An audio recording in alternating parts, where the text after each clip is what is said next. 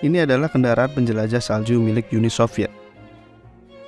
Pada masa Perang Dingin, Uni Soviet memiliki kendaraan penjelajah salju versinya sendiri.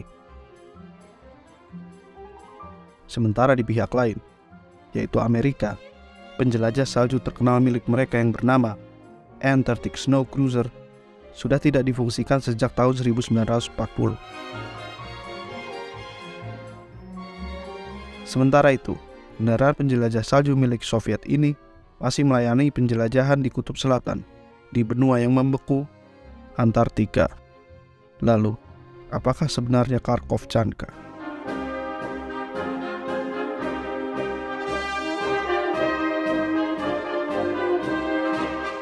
Pada tahun 1950-an, Uni Soviet bersama Amerika Serikat dan negara lain berlomba memulai penelitian ilmiah di Antartika. Pada tahun 1956, Soviet menguasai bagian timur dari Antartika dan mendirikan stasiun penelitian bernama Mirny. Hanya dalam waktu dua tahun, Uni Soviet mendirikan lima stasiun operasional di Antartika bagian timur – namun Soviet menghadapi masalah yang besar dengan transportasi yang akan digunakan karena kendaraan jelajah dan truk biasa tidak akan dapat berjalan dengan baik dalam kondisi ekstrim alam Antartika. Mereka membutuhkan kendaraan penjelajah baru yang tangguh dan mampu mencapai kutub selatan. Mengingat jarak antara kutub selatan dan stasiun Mirny adalah sejauh 2700 km. Oleh karena itu, para insinyur Soviet harus merancang kendaraan penjelajah yang dapat beroperasi pada suhu rendah hingga minus 70 derajat Celcius.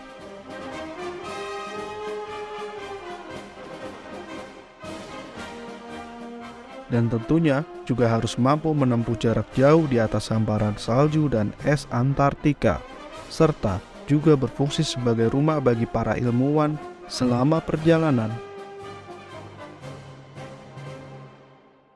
Sebagai hasilnya, terciptalah Kharkov Chanka.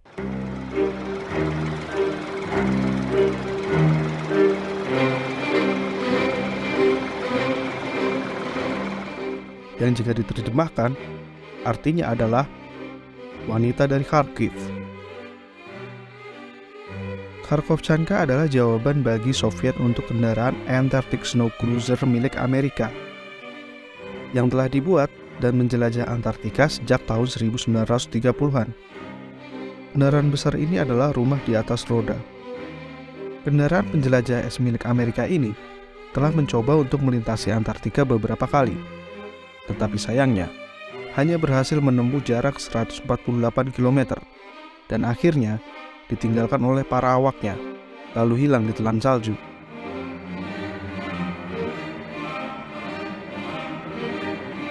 Kendaraan jelajah milik Soviet ini dibangun dari ATT tipe artileri traktor yang berbasis pada sasis dan sistem kemudi tank model T-54.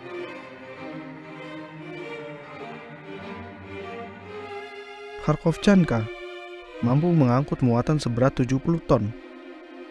Kendaraan ini juga memiliki dimensi yang sangat mengesankan.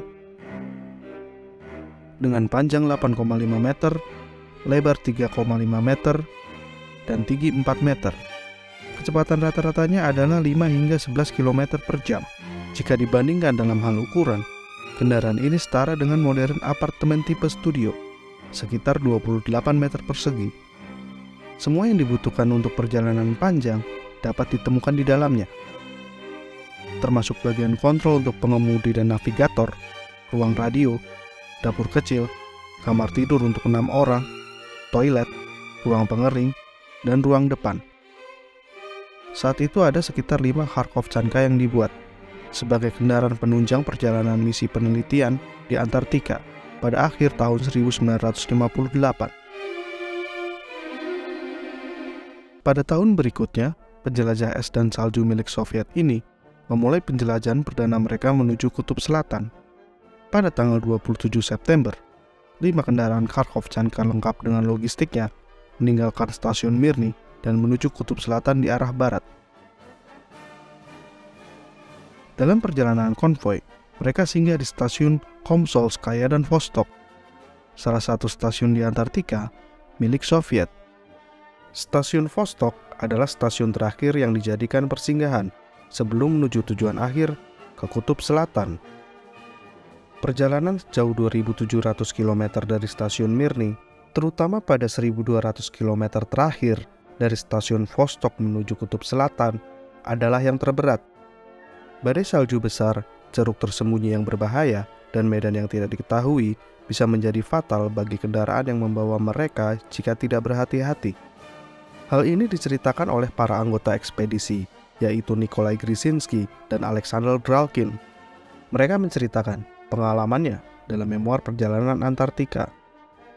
Lautan salju yang tak terbatas di depan kami, sementara di belakang terlihat dua jejak yang ditinggalkan oleh kendaraan penjelajah kami.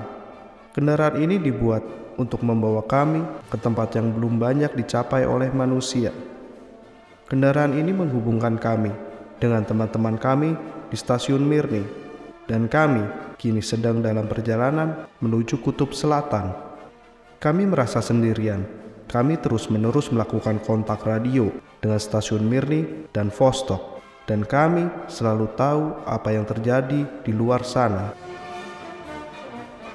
Pada tanggal 26 Desember 1959, ekspedisi Antartika Soviet berhasil mencapai titik kutub selatan. Setibanya di kutub selatan, mereka disambut oleh tim dari Amerika. Tim Amerika ini kebetulan memiliki stasiun yang berdekatan dengan kutub selatan, yaitu stasiun Amundsen Scott.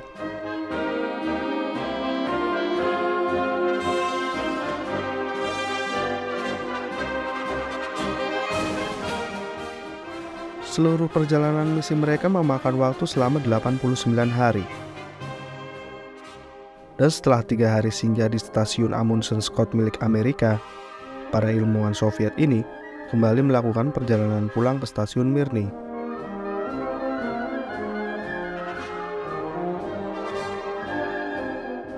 Hampir selama 20 tahun, kendaraan penjelajah Kharkovchanka telah bertugas sebagai alat transportasi Soviet di Antartika, menjadi alat penghubung ke seluruh stasiun mereka di benua Antartika.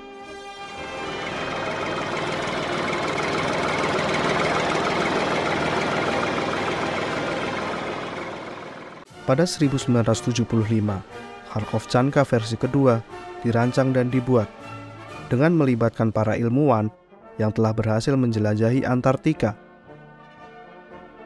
Kharkovchanka terus digunakan oleh Rusia untuk ekspedisi kutub, hingga akhirnya kini digantikan oleh Vityas DT-30P.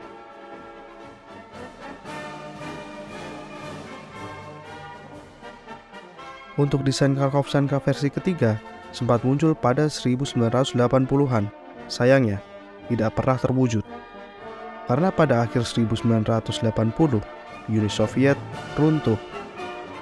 Terima kasih sudah menonton. Sampai jumpa di video berikutnya.